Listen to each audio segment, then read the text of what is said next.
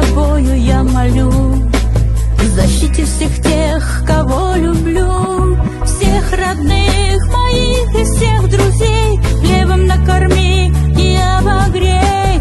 Трудный час им ангела пошли, чтоб сберег их на краю пути, всех родных